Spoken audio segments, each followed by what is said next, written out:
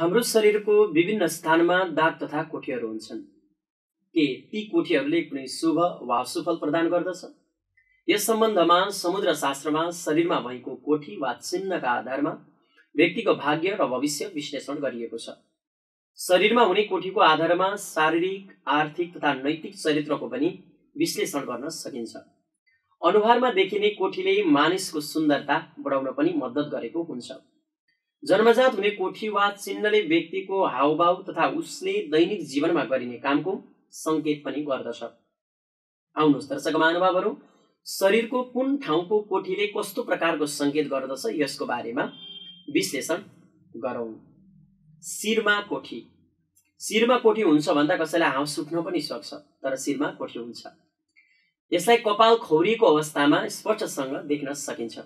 यदि शिरको दायाँ स्थानमा रातो वा कालो कोठी छ भने त्यस्ता व्यक्ति राजनीतिमा एकदमै सफल हुन्छन्।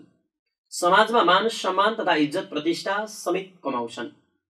शिरको पछाडिपट्टि कोठी छ भने यस्ता पुरुषहरू महिलासँग निकै नै नजिक हुन्छन्। यी व्यक्तिले पैसा त टन्नै कमाउँछन् तर उनको समाजमा राम्रो नाम भने हुँदैन। यदि कोठी शिरको बायाँ भागमा छ भने प्राय जसो आर्थिक सङ्कटको सामना गर्नुपर्ने पनि हुन्छ। आध्यात्मिक जीवनको नेतृत्व गर्ने हुन्छन् भने साहित्यमा चाहिँ एकदमै रुचि राख्ने स्वभावका हुन्छन्।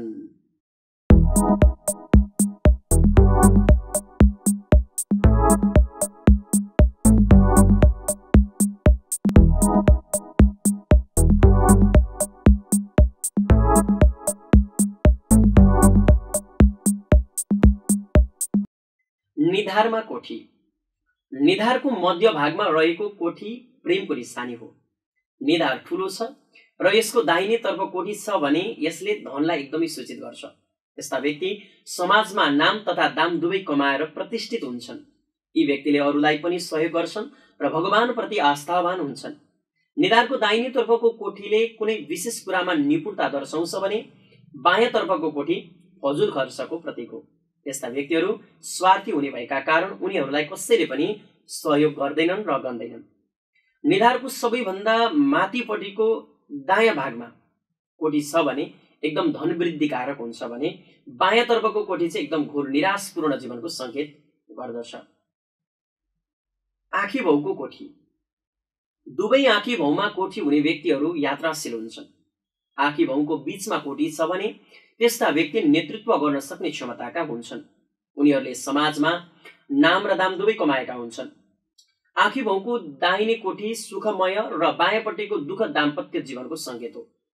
दायाँ आँखी भाउमा कोठी भए चाँडै विवाह हुन्छ। ती व्यक्ति विवाहपछि एकदमै भाग्यमानी हुन्छन् भनेर बताइएको छ। यस्ता पुरुषले आफ्नै महिलाको नामबाट चाहिँ लगानीहरू गरेर कुनै पनि कामको थालनी गर्नुभयो भने एकदमै शुभ हुन्छ भनेर बताइएको छ। आँखाको नानीभित्रको कोठी।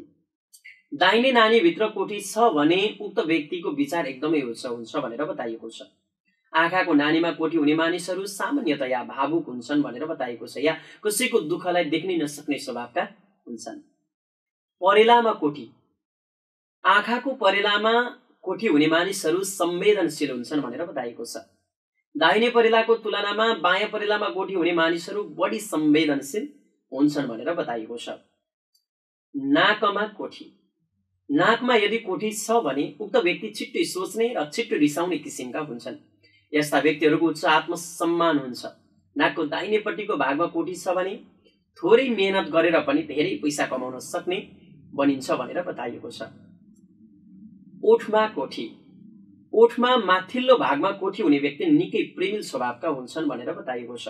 तर विलासीका सामान र महिलाहरूमा यस्ता व्यक्ति एकदमै आसक्त हुन्छन् भनेर बताइएको छ।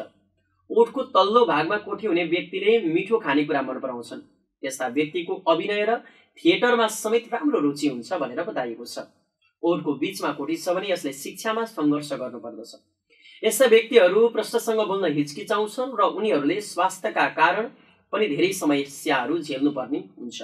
ओठको टुप्पोमा कोठी भएकाहरूले मानिसहरूलाई आफ्नो भाषणले सजिलै मन्त्रमुक्त पार्न सक्छन् बोलेर एकदमै प्रभावित पार्न सक्छन्।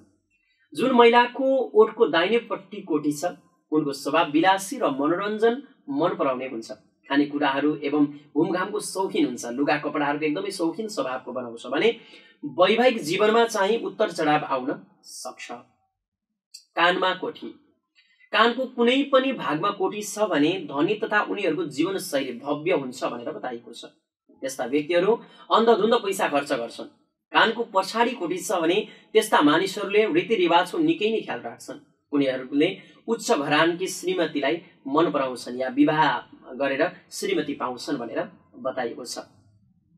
गालामा कोठी।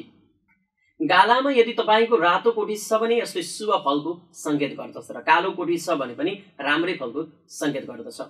पुरुषको हकमा गालाको दाहिने भागमा कोठी हुने व्यक्ति निकै नै संवेदनशील हुन्छन् जसले घर परिवारलाई निकै नै सम्मान दिन्छन् यस्ता व्यक्तिले आफ्नो श्रीमती र आफन्तलाई निकै माया गर्छन्।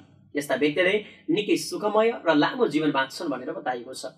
यदि पुरुषको देब्रे गालामा कोटी छ भने ऊ चाहिँ अन्तर्मुखी स्वभावको र रिसालो हुने दर्शाउँछ। उनीहरूले चाहिँ जीवनमा धेरै सङ्घर्ष झेल्नुपर्ने हुन्छ।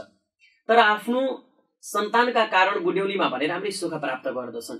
यदि पुरुषको चाहिँ देब्रेपट्टिको गालामा कोटी छ भने चाहिँ श्रीमतीसँग कुरा नमिल्ने स्वभाव पनि हुन सक्छ।